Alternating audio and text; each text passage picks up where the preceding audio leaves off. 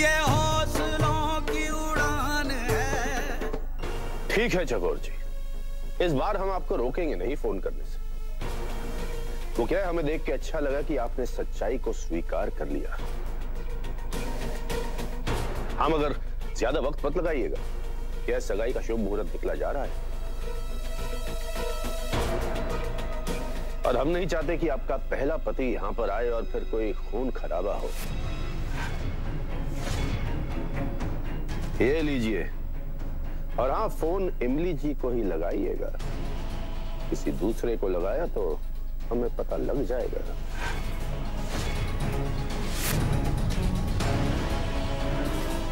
जी। आइए जल्दी।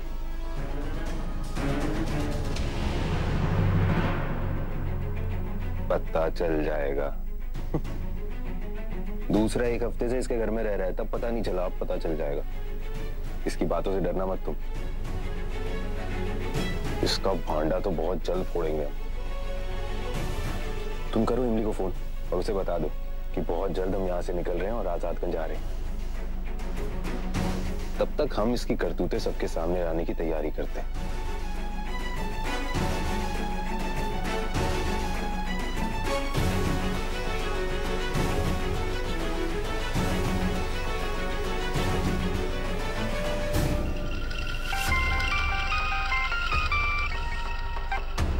हेलो।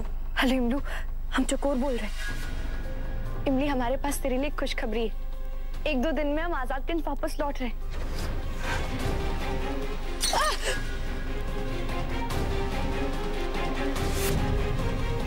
क्या हुआ, इमली? तू ठीक तो है ना? हाँ हम ठीक है पर ये सब अचानक कैसे हुआ? कब हुआ? इमली, अचानक नहीं है। हम लोग बहुत दिनों से इसकी प्लानिंग कर रहे हैं। हम मतलब हम और सूरज। सूरज यही है, इसी घर में हमारे साथ। तो हमें यहाँ लेने आया है। आज रात हम एक बहुत बड़ा धमाका करने वाले उसके बाद हम और सूरज उस रणविजय की कैद से हमेशा हमेशा के लिए आज़ाद हो जाएँगे। इमली, तू जल्दी से माए बापू को बता देना और आजादगंज में सबको बता देना कि सूरज और चकुर वापस लौट रहे हैं। इमली अभी हम फ़ोन रखते ज़्यादा बात नहीं कर सकते।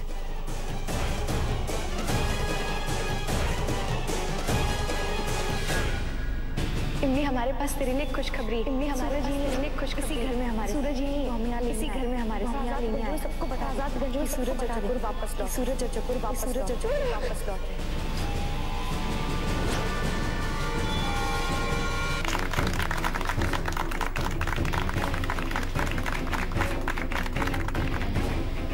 अब अंगूठी ले आइए।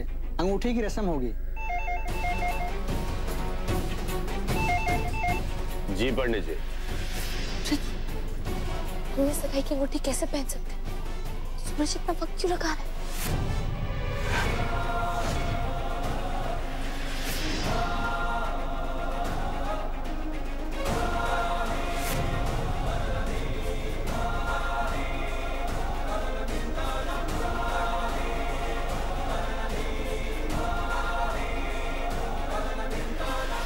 यजमान मुहूर्त निकला जा रहा है। जल्दी कीजिए। जी पंडित जी। माँ अंगूठी दीजिए। हमने आपके पास रखवाई थी जो। अब बेटा मैंने तो नहीं रखी। हाँ वो मैंने प्रीति को दी थी। प्रीति? हमारे पास तो नहीं है भैया। हमने काफिया दीदी को दी थी। हमने मुझे कब दी थी? अब भैया मेरे पास भी नहीं है। ये तो कमाल ही हो गया। सगाई की अंगूठी नहीं मिल रही है। ये तो वही बात हो गई कि मुझे सामने खड़ा है और कड़ी गायब। थैंक यू प्रीति तुम लोगों ने हमारी अंगूठी छुपा दी। चकोर दीदी हमने नहीं छुपाई। हमारे पास भी नहीं है। चकोर जी अगर आप सोच रही है कि अंगूठियाँ छुपा दें इससे सगाई नहीं होगी तो आप गलत सोच रही है। ये सगाई तो होकर रहेगी। भले ही हमें किसी के हाथ से अंगूठियाँ छीननी क्यों ना पड़े।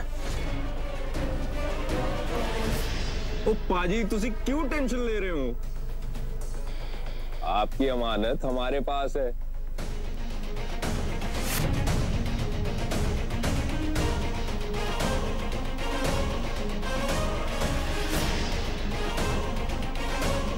ले लो ले लो। लो जी, तुसी भी ले लो। ले लो, शर्माओ मत।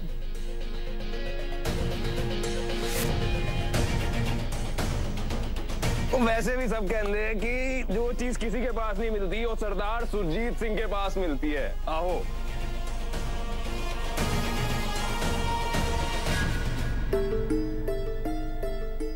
अरे भाई, सुरजीत सिंह, तुमने बहुत अच्छा काम किया है। एक सगाई के संगम को टूटने से बचा लिया है। वो जैसे की करिए साडा दिल ही इतना बड़ा है। हम किसी का दुख नहीं देख सकते जी। यजमान जल्दी कीजिए। मुहूर्त निकला जा रहा है। जी पंडित जी। चको जी।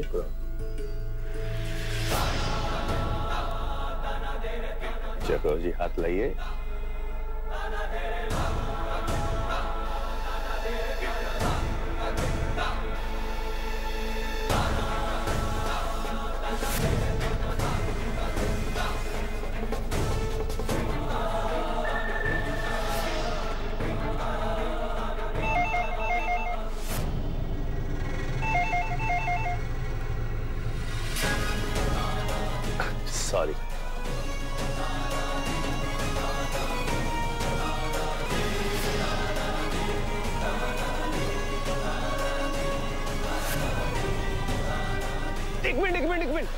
रुको।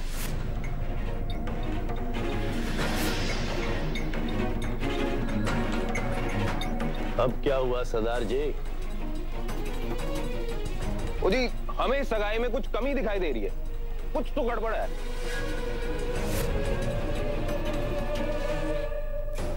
अब देखो इतने सारे लोग तूले वाले की तरफ़ से और हम गिनती के तीन लोग मैं पंडित जी थे उनकी पंडितान ये तो गलत गल है।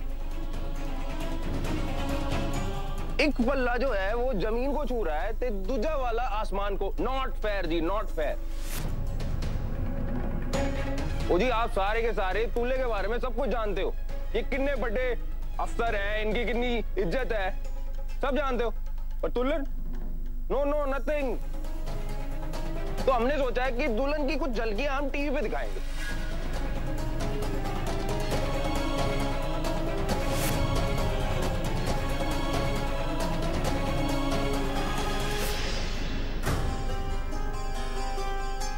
सरदार जी पूरी ज़िंदगी पड़ी है देखने के लिए। अभी मुहूर्त निकला जा रहा है सगाई का।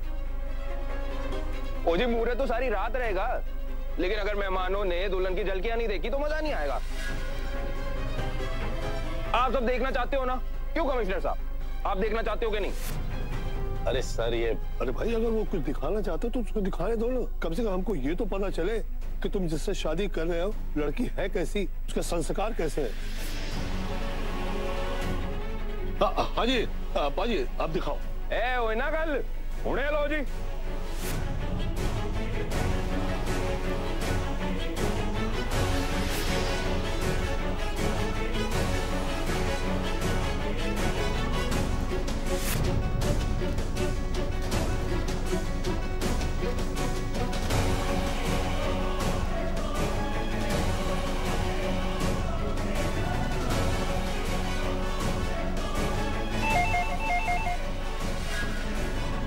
एक मिनट रुकिए।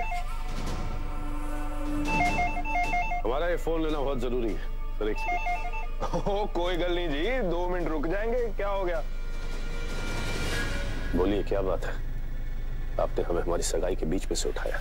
जी जी रणविजय जी हमका हमका अभी अभी चकोर का फ़ोन आया था। वो हमका बोली कि सूरज इस वक्त आपके घर में ही है।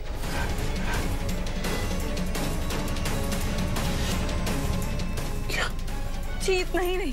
उस चकोर ने हमका ये भी कहा कि शायद एक दो दिन में फोर्स मिर्च दोनों साथ में वापस आजादगंज पहुँच जाएँगे।